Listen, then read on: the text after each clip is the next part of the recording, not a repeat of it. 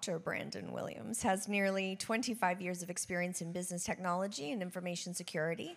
He co founded two tech services companies, authored five books on PCI compliance, focusing on innovative solutions to reduce risk in complex environments. So please welcome Branden and have fun playing the game. All right. So, um, thanks for being willing participants, maybe unwilling. That's okay. Uh, no, no, I want to give you all the instructions. So if, if you're part of a group, yes. If you want to be part of this group, this, there's a group right there. That's Team B. You can be part of that group. Just make sure we know who's in the group because, again, the winning group gets a prize. And it's real. It's not fake. It's not just a clap like it's gift cards that are not that are real gift cards that actually work. I'm not pranking you. Okay. So first thing I want to do is um, we're going to have a little bit of controlled chaos with the game. So I'm going to try to do the same thing that we would do with the, the little kindergartners. So when I need to get your attention, I'm going to do, and then what do you guys do? This is a pro. This is going to be awesome. Okay. Yep. okay, so first, we're going to do a quick poll. If you have a pen and paper, great. If you have that person that is in your text string that you always put all of your notes to them and they get random messages with like grocery lists, get that up. We're going to take a quick poll, okay? First question Performance measures have little or no impact on behavior, have a moderate impact on behavior, but not a major factor, or determine how individuals behave. So A, B, or C. Good, you just, it's in the in, inside voice, just write it down. Okay? Uh, next one. It is most important that performance measures should accurately reflect past performance or correctly influence future behaviors. So, A. And the last one performance measure- measurement should focus on the department level and encourage optimal departmental performance. True or false? okay. So, by the way, um, there is a resource pack that will be available to everybody at the end. There's a QR code you can scan, so you're going to get the slides, you're going to get the references, you're going to get all the stuff. So, first thing we want to talk about is a little bit of game theory. Now, performance management, performance metrics, we are sort of playing games just like we're going to play one here, but we also play them at work. You, most of you have some sort of variable part of your compensation, and there are certain things you have to do in order to earn, exceed, or maybe not earn those things. Probably the easiest one to think about is a salesperson. Salesperson, they make a sale, they earn a commission, great. Um, is anybody here familiar with the prisoner's dilemma? Some people. Have you ever watched like Law and Order, CSI, any of the crime shows? You're familiar with prisoner's dilemma. I'm going to show you what it is. So this is one of the most basic games that you're going to learn. If you ever decide to do game theory stuff, there's just a quick video we want to do. Hopefully the video works. It took a second when we were testing it.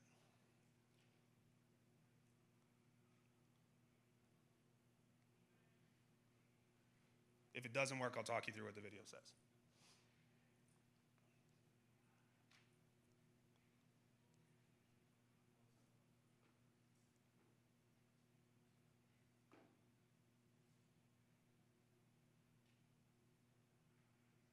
Yeah, just restart from the beginning, the little bottom left. Yep. Say Mr. Blue and Miss Red have each been arrested for some minor crime. The police think they committed a more serious crime, but they don't have enough evidence to convict them. They need a confession. They take them and put them in separate rooms so they can't talk, and play a little game. To try to force a confession, the police give them each a choice. Admit your partner committed the crime and you will go free. We'll pardon you for the minor crime, but your partner will have to spend three years in prison. If you stay silent and your partner lets us know that you were the one who really did it, then you're gonna have to go away for three years. They know that the police don't have any evidence, and if they both stay silent, then they will only go to prison one year each for the minor crime. If they both betray each other, then they'll both go to prison for two years each. Okay, each partner can do one of two things stay silent or betray. Staying silent would be cooperating, and betraying would be defecting. If they both stay silent, then they each spend a year in prison. If one betrays and the other stays silent, then the betrayer goes free and the silent spends three years in prison. If they both betray, then it's two years each. So what are they going to do? Well, they should cooperate. That's the best option for the group if we add the total number of years in prison. But let's take it from Red's perspective. If she thinks Blue is going to stay silent, then she should betray so she can go free. Going free is better than spending a year in prison. If she thinks he's going to betray her, then she should definitely betray. Two years in jail is better than three and being made a fool of. Blue is in the exact same situation and will think the exact same thing. He should betray if she stays silent, and he should betray if she betrays. They should have both cooperated, but from an individual standpoint, they notice they could always gain by defecting, if they have no control over what the other person's going to do. So they'll both defect to try to better their own situation, but come away not only hurting the group, but themselves. Individually, they're worse off than if they both cooperated. This situation is pretty made up, but it has some real world analogs. A common example is with marketing, advertising. So, Alright. simplicity, let's say their choices are to add. So that's prisoner's dilemma. So you see, you know what I'm talking about when you've watched a crime show and you see them put the two suspects in a different, like you've seen this before, you know how it works. Now this is the same matrix, but I made it with negative because I thought jail was supposed to be a deterrent and bad. So like in, in the one where you talk about maximizing payoffs, three is a bigger, bigger number than zero, but it's actually a worse number, three years in jail. So I made it negative here. So this is what you see in these coordination matrices for game theory, but you can kind of understand the point, right? So it, as a collective, it makes sense for them both to stay quiet, but their outcomes become better if they defect individually. Okay, let's go to the next slide. Oh, I have that. That's me. Okay, so do you guys know?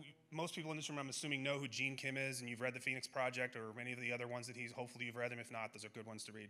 Gene's that original book was based on Eli Goldratt's book, The Goal. So if you if you have an MBA or you're going through your master's program, at some point you're probably going to read that goal, the book called The Goal, and you're going to learn about the theory constraints.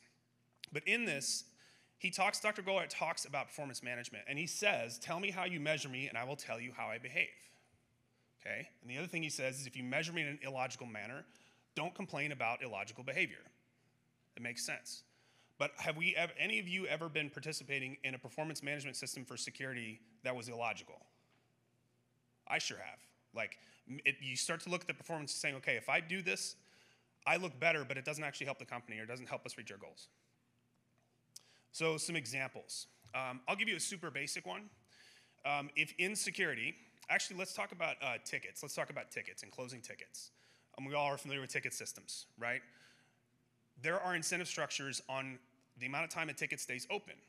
Now, if all I do is say, I'm going to pay you for closing tickets, and the fastest time wins, what is the person on the other side going to do? Select all, close, right? It doesn't matter the quality of the close. Like the, po- the point that they were trying to get to is we want these tickets to be serviced and completed with five stars at the end in a quick and efficient way. But that's not how it was worded. It was worded close the most amount that you can. Okay. So now we're going to play the game. Now, before I start, has anybody heard of the blue green game before? You have to tell me it's, it's required. Okay. So here's how the game works. So we've already split into four teams. Check. You guys are all going to elect a manager. It doesn't matter who it is, just pick somebody. The person is basically going to be the tiebreaker if you guys can't come to an agreement as a group, and is going to run the, uh, the envelope up to me. In front of you, you have six envelopes. One envelope has five blue chips and five green chips. You are going to select one of those, and you're going to put them in the round that we're playing. You'll see it's they're all labeled like round one through five. You don't want anyone else to see that. It's okay if your team sees it, but you don't want anyone else to see that. Okay? You can do it in secret. You're to put it in there, and you're to bring it up here when it's time. Um, there's scores on how this works, right? So we're a collective. As a, as a group and as a company, we all succeed when everybody submits a blue chip. Everybody gets one point when you submit a blue chip. Okay? One second. The points change. If everybody submits a green chip, everybody loses a point. Okay? But there are some sort of puts and takes. If we have one green chip, for example, and three blue chips, then the blue chip loses one, the green chip wins three. Okay. So remember, every, every winning team gets a gift card. And yes, they actually work. So, round one, get your manager, secretly put your chip in, bring it up to me.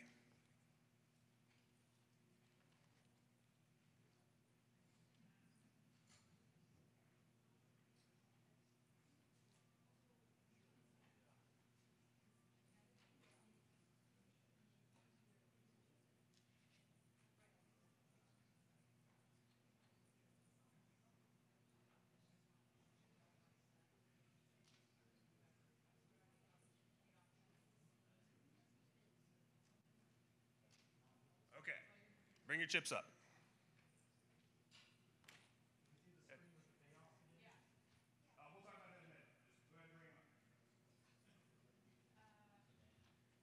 Yeah, whoever the manager is, or if you want to just.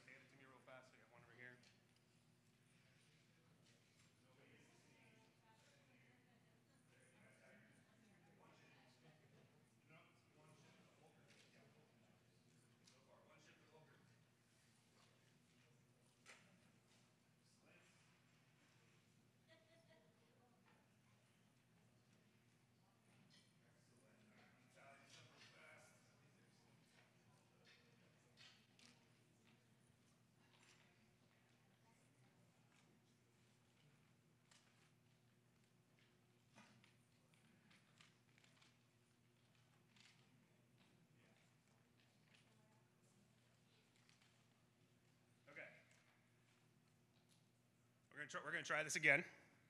That's never happened before. So, I just want to take a look at the, the scoring matrix again. So you asked the question. Now, as a company, right, as CEO of the company, that's me, CEO of the company. We all win together when we all submit a blue chip. Okay, so round two, submit a chip. You want to go back?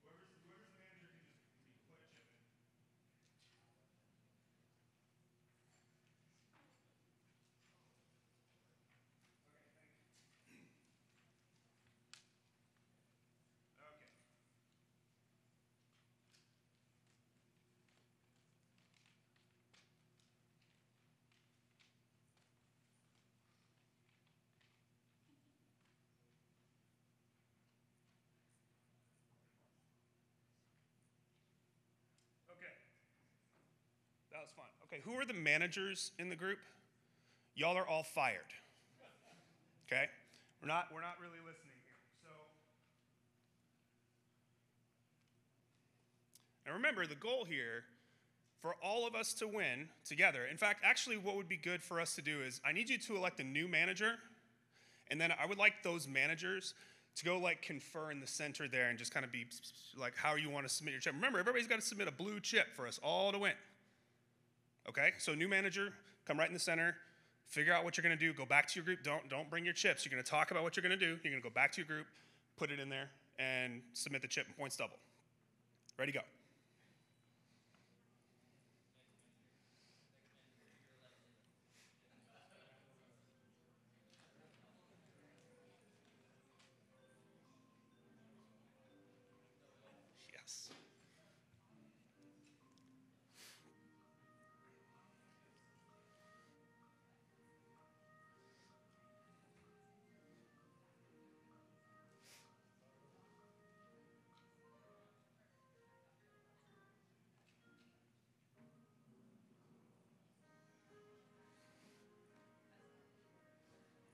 Okay. Put your chips in the envelope and bring it up.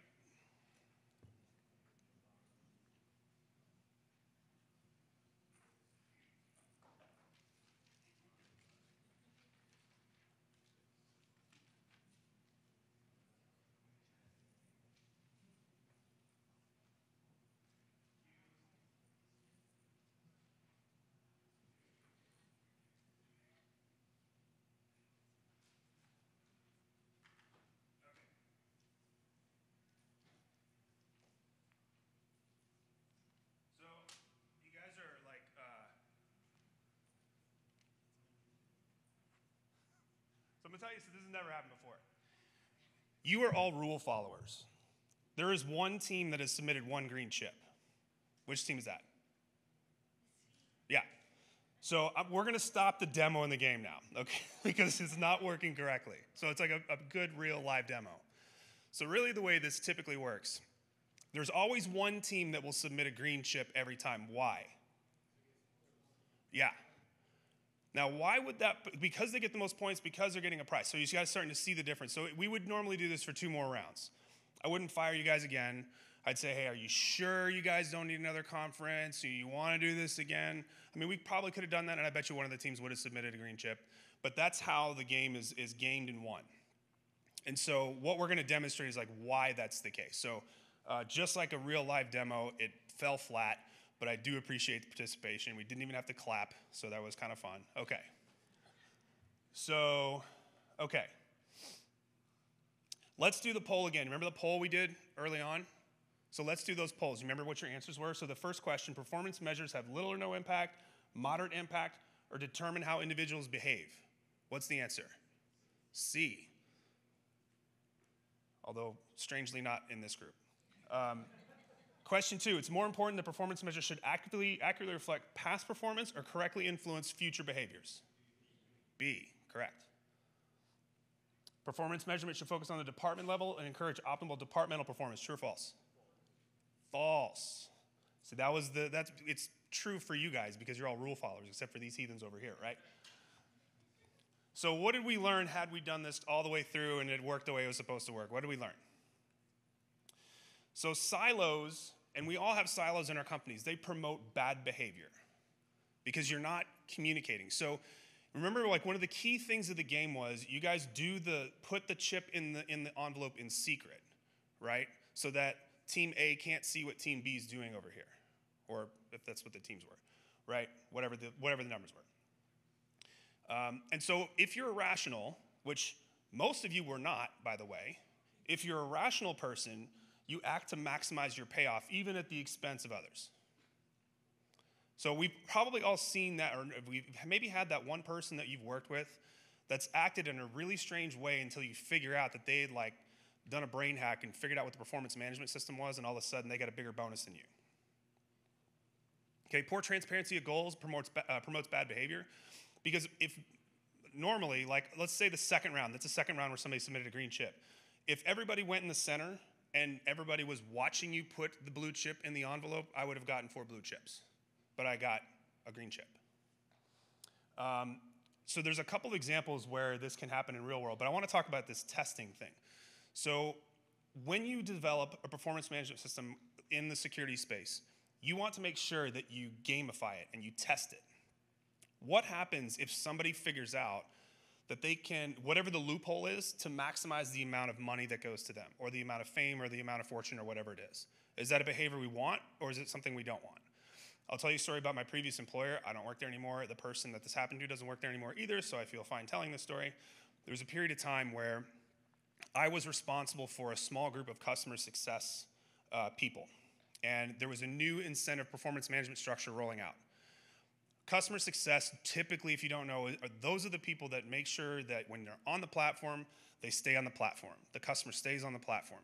Help them with things for integration, things that they might need to get moving along uh, down the pathway of production. Reducing churn. Churn's a big metric that gets checked, right? they were being tasked with we're going to make all of your variable pay based on getting new logos. Now, that doesn't sound very intuitive, right? What does that do? It turns them into salespeople.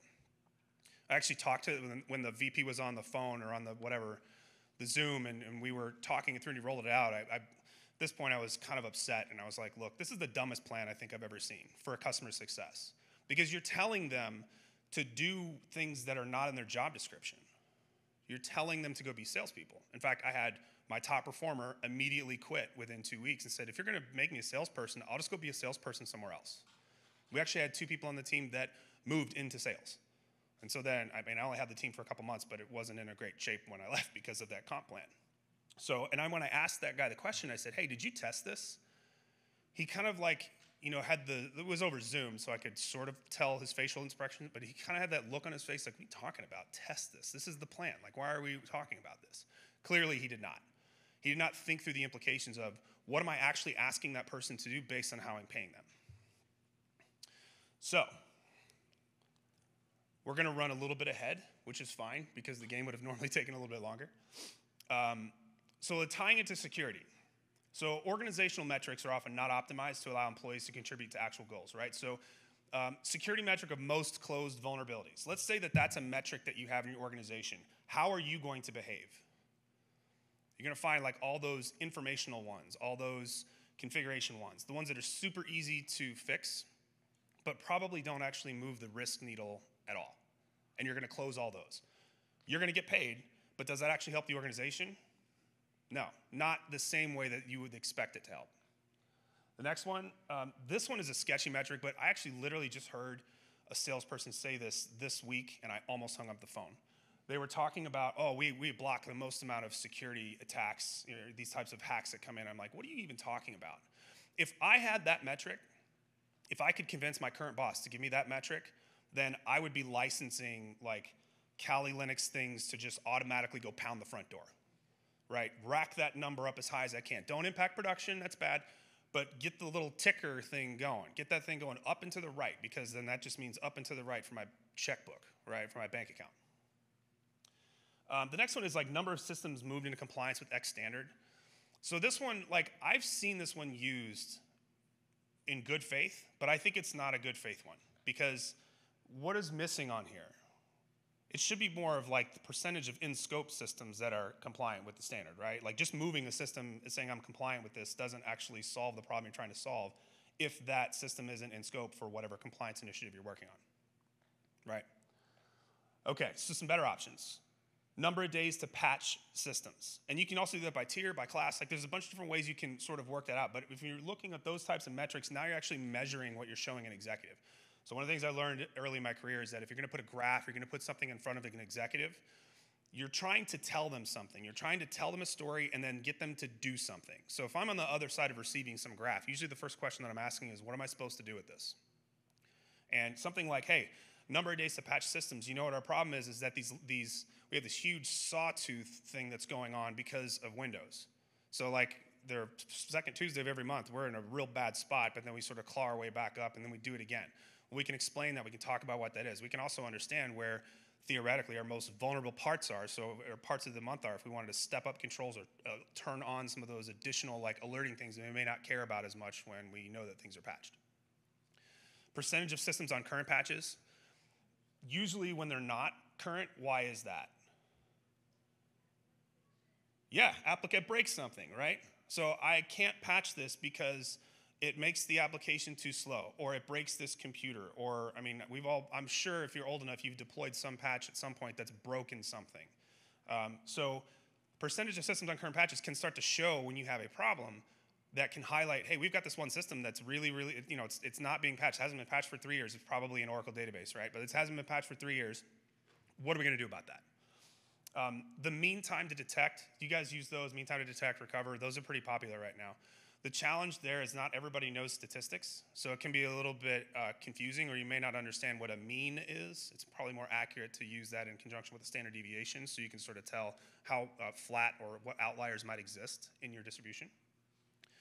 Um, I actually like this one, the cybersecurity awareness training coverage and scores, because you can quite easily, especially if you're doing it at the executive level, you can find the executives that aren't pushing the knowledge management systems that are generally required for most of us in some form or fashion that we have to have our employees trained on this stuff.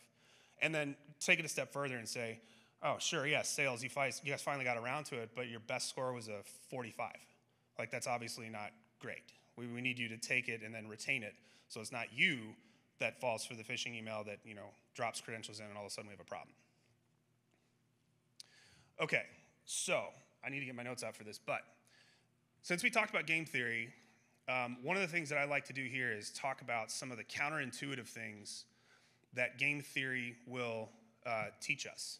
So the first one is that people often take aggressive postures that can lead to mutually bad outcomes. So we saw that in Prisoner's Dilemma, right? Like mutually, the best outcome for Alice and Bob was to keep their mouths shut because they both only went to jail for one year. That's if they cooperate. That's if they were looking at if they were in the same room, right? If in the same room, they're going to stay silent. You put them in separate rooms, you don't know. They're not able to cooperate their game their best option is to always defect because their outcome will be better no matter what happens on the other side. It's either I go free and he gets three years, or we both get two years, not three years, right? Okay, next one. Even if everyone agrees an outcome is in everyone's uh, is everyone's favorite, they may not get that outcome, right? So that may be the case when you can't coordinate, which is what the blue green game was supposed to show us. That hey, if you're not coordinating, if you're not actually um, able to be transparent about this stuff, then it's not necessarily going to work. So uh, a good real world example that's highly illegal would be if you had a bunch of people coordinate on buying a specific stock to inflate the price and then taking profits on the way out. Now, here's where that breaks, right? Um, you can't tell me that during the early days of GameStop and everyone in their diamond hands that there wasn't some guy who's like, holy crap, it just hit 300, I'm out. But he would tell everybody, no, I'm holding, man. I, no, there are going to be people that are going to take those personal gains because there's no transparency, just the way that that works. Um, kind of equate that to I'm going to look out for number one. The next one, this one's really counterintuitive. Do you know that closing roads can improve commute time? So it's called the Braess paradox. The drivers, and Houston's terrible, right? Because I don't, I live in Dallas, but I've been to Houston enough times and I've driven in Houston enough. Like it's insane driving around here. Um, you have no incentive to change their routes, right? So each driver individually is going to choose the route that they think is the best for them, irrespective of the system, irrespective of everything else. So something that you may have heard in game theory we didn't talk about was the Nash equilibrium, and that's the uh, the beautiful mind guy, right? Uh, John Nash. So that Nash equilibrium is suboptimal for both the player and the game because the road networks typically are not very efficient. Would you agree that Houston's road network may not be very efficient? Dallas is not very efficient. There's problems with that, right? So if I close a major thoroughfare, how does traffic get better? People find alternate routes, and they'll choose different, or they stay home or they take the bus. Like there's different reasons why that happens. So it's kind of interesting. There's plenty of cities uh, like Seoul and Stuttgart and New York City where this has been tested. Okay, this one's fun. Everyone might mimic someone else just because two people do the same thing. There's studies in the 70s on this where you put 10 people in a room, you got two plants, and the first plant is very opt- very vocal about a particular thing that's incorrect, and then the second plant's like, "Oh yeah, you're totally right." And then peer pressure causes the rest of the 10 to say that same thing. It could be something as simple like I want to say that they tested this with like uh, scores of football games. Like the game the previous night, they would say the incorrect score, incorrect winner, and by the end, the whole room was saying, "Yeah, no, that's that's the case. Yeah, of course." Um, do you guys anybody play words, uh, words with friends in here? Okay, do you, do you like the trick? The trick is right. You don't try to maximize your score, right? You try to block and move around and figure out if I make the best word I can make, but it allows my opponent to get the nasty double, double, triple, triple, that's bad for me. I don't want to do that. I'm better playing a two letter word that doesn't expose that than I would be playing, you know, a four letter word that, that creates that opportunity. So that's kind of like, you know, words with friends should be played more like chess than it should be played like Scrabble.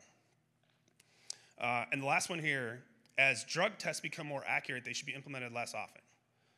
Okay, so that seems a little counterintuitive, but here's, here's why. If an athlete is afraid to dope because there's no question once they are selected for a test that it's going to show up, they're not going to do it. There's a huge example of this in the cycling world, right? I think we're allowed to say his name like Lance Armstrong. This is Lance Armstrong. Had the tests been accurate, and he would have been caught earlier. And as we started to understand, I'm not a big cycling fan, but I looked, I read some of the stuff around it. This was like a massive problem in cycling. Like everybody was doping. The drug tests were garbage. So if you have more accurate drug tests, you can test less frequently because people will be afraid to get busted. Okay. If you want to try this at work and maybe set up the scenario differently, I don't know. I don't know what I did differently in this group of rule followers that didn't work, or maybe get some salespeople involved to help game the system. I don't know. Um, you're yeah, you're, you're more than welcome. So this is it'll have the links to everything that, that you might need. You can obviously reach out to me if you have questions on this. Um, but ultimately the goal here was just to try to demonstrate that when you are working with your teams is i think not only like am i in the position where i'm about to start goal setting um, i'm managing the current team of goals that they have but i want to make sure that whatever those goals going forward are that they're aligned with the company objectives and that there's if there's a gamification possibility that i'm cool with the outcome that it's an okay outcome for me to have so with that, I will open up for any questions because we're done a little early because the, the game broke. I'm really bummed about this, man. Okay, like, I'll bring so the microphone. Yeah. Here, hold on a second. Hang on, we're gonna get it for the recording. Okay, the rule here is Yeah. what happens here stays here. But this uh, is my theory. I've worked in trading for like 25 years with a bunch of psychopaths. That's what I'm going to call them. There's better words for them, not professional. And so I think what happened in this room for the most part is you've got really good people because I've been in risk control and mostly people like to follow rules. Yeah. But the person who knows that if they break the rules, they will do it because it's going to benefit them. But everybody else is going to follow the rules. But that rule breaker, they're going at it. And that's why I told my people, I was like, we have to pick one of them and break the rules. Yeah. Because I was like, you're telling us follow the rules. I was like, break the rules. Yeah.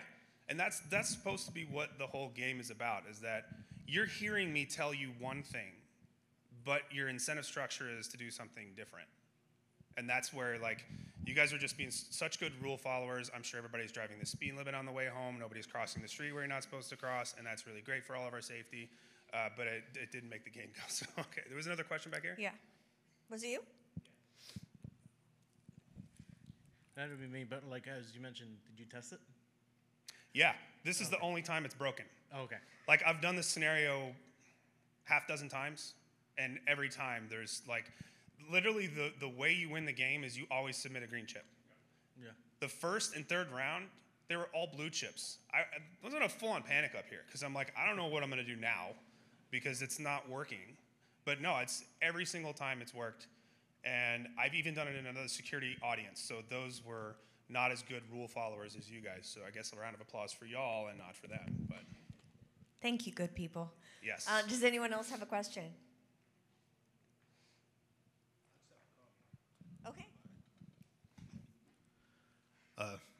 Like I said, no question, just a comment. I want to give a shout out to you, Dr. Williams. Uh, you were my professor at UD uh, for the practicum, so awesome. yeah, I, I, I wanted to come out and show you some love for your uh, for your keynote speak. So Thank you. Thanks. There's also that's another awesome. student right there next to you came up to me beforehand. So that's awesome. Pound. Must make you feel really good to have your students come listen, it does, yeah. I mean, especially as practitioners now. yeah. And I mean, look, hopefully the class was worth it. Hopefully the degree was worth it. Hopefully you learned something. I always try to bring something back from, you know, the real world into it. But, um, you know, it's great to see you guys here. And obviously, if there's any question, anybody has any other one that you don't want to ask here, uh, because you're such good rule followers, you can reach out to me. The contact info is there, and I'm happy to talk to you. But if uh, is there any, oh, there's a question over there. In the Oh, yes, salmon shirt.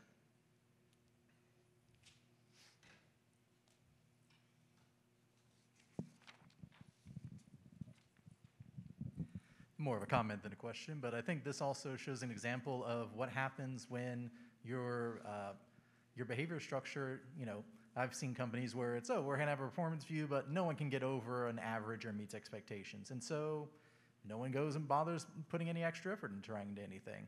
Or even worse, they just do the very basics they need to not get yelled at. So that's awesome because not only are you almost quoting directly from Office Space, but um, I literally had that conversation with one of my guys yesterday because we were talking about. So on the security team, um, one of the things that drives me absolutely bananas is when a sales ops team will forward the questionnaire, the security questionnaire, over blank. Like, bro, they're all the same questions right? There's maybe like four questions that are unique per company, but the security questions that, that they're trying to make a sale and the, the procurement department says, oh, I need you to fill out my security questionnaire. Why is the salesperson not doing that? I looked at him and I said, dude, I don't want you to do that anymore. You don't get paid an extra dollar if we make that deal. The sales guy does. So he's figured out how to manipulate and game the system where he can just say, start, you know, yelling and saying, well, they're not doing their job. And then that's why I step in and say, my guys don't get paid for that, buddy. Like your guys get paid for it. Let's help you get set up so that you can answer the questions. And if you, when you build your database of questions, there's not one in there. If there's one in there you don't have, come find us. We'll support it. But yeah, I mean, it's exactly it. There's, there's no additional incentive um, to, to do that. So thank you. I'm just curious about this game theory, um, whether it has been applied to cyber security training. So having people that, hey, here's the way. I mean, if you have enough people that don't break the rule, then you know everybody will be good, right? Like the opposite effect that we're trying to accomplish in here, not to break the rule, but actually follow the rules. Yeah. So I wonder if this game theory could be applied to that to get to that purpose. It could, but it's with all the different external factors and everything. We found that there was some additional things that played into it, but also you, everybody in here except this team is irrational, right? Because the rational player would submit the green chip.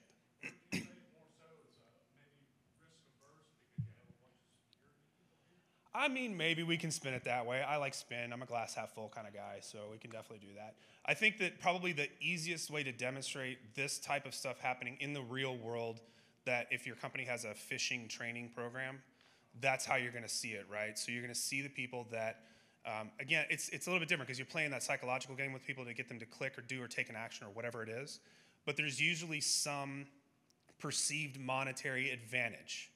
Like, does anybody actually believe that they won some, you know, three million dollar prize and it showed up in their work email? No. Like, no. But there are, the, you know, especially with, with generative AI, things getting better and more sort of realistic. When I was at the bank, we got yelled at all the time because we stepped up the phishing training program, and they were like, "Those lures are just too good." And I'm like, "What, like hacker ever said I'm not touching that system because it's out of scope?" Like everything's in scope to a bad guy. Everybody's gonna use whatever information, and the information that we were using to build those were on the public side. Like we would have a guy go out, take his personal laptop, do the research, get the information, put the phishing thing together, and like the worst one, this was actually was kind of we got in a little bit of trouble for this one, but um, we said we were having a Christmas party. It was the building management was doing a Christmas party, and this is right after like they canceled all the Christmas parties for the company. And so we said, oh, the building's going to do one. So just fill out this form and log in and like add your spouse to it, because you get a plus one. Uh, man, so many people clicked on that one. Like, and I had one guy that clicked on every single one, and he was like, he had root access for the company, and I was like, buddy, we're gonna have to have a conversation because you that can't happen.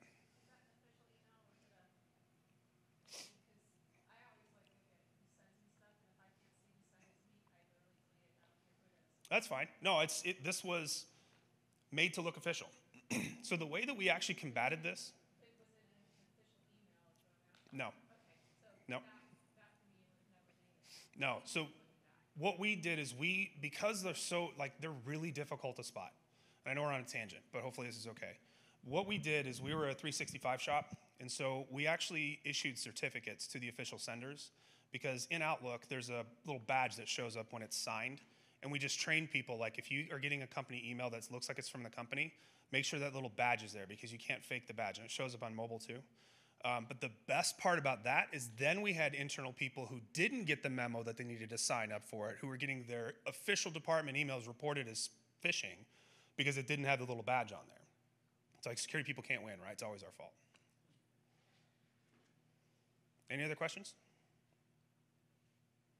Hey, thanks for uh, fighting through with me. I hope you guys uh, enjoyed it, even though it didn't go out the way we wanted to. But thank you very much. Oh, and uh, yeah, you can leave the. You can just bring them up here. You can leave them whatever. I'll, I'll